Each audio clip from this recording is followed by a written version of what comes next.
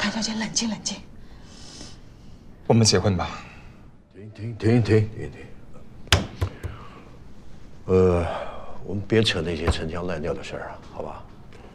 那今天大家坐在这儿，我们讨论的就是要给平平怎么样一个更好的未来。我们直接谈条件。那我的条件是：一，我要平平的抚养权；二，萍萍她是东远集团未来的继承人，我不可能让她流落在外，她必须信念。好吧，这我的条件，你们条件什么？开出来。第一，支付我的当事人谭静自孙平出生以来的抚养费、治疗费，以及被遗弃多年的精神损失费，人民币五百万。第二，既然您说孙平是东远集团的继承人，那么就请从您的名下赠与孙平东远集团百分之五的股权，共计是六万七千四百五十二股。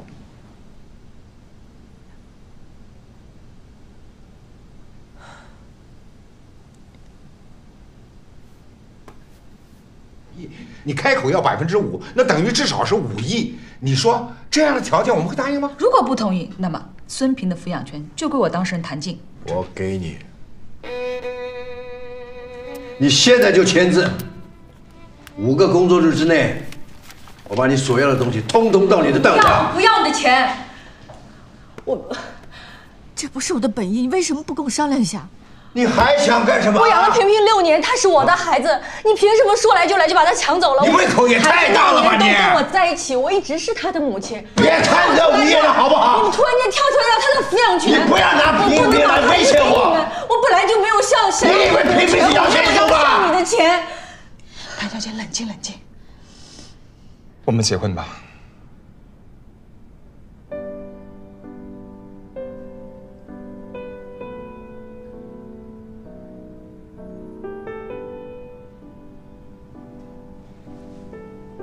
这是唯一办法。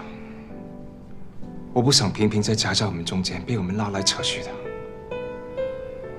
孩子需要一个完整的家庭，需要母亲，也需要父亲。我们结婚了，对平平来说最合适。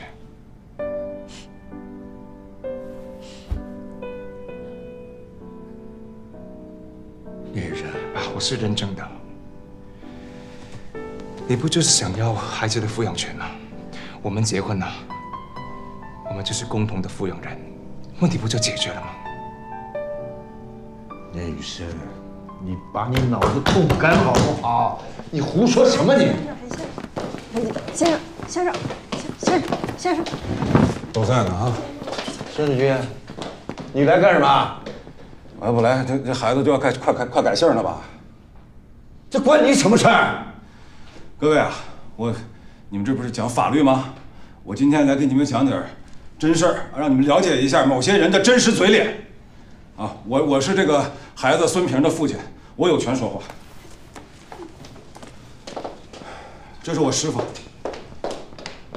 谭少华，这是谭谭静他爸爸。我师傅这一辈子行得端坐得正，没干过什么缺德事儿。最后是被奸商所害，死于非命，一生的清白全毁了。叫人，叫人，叫人，叫人，清白都给毁了，家破人亡。我要找出证据，让这些人给我让师傅偿命。师傅，师傅你放心啊，你就凭凭就你这一外公没有爷爷，他们不配，让他出去。啊，萍萍不见了。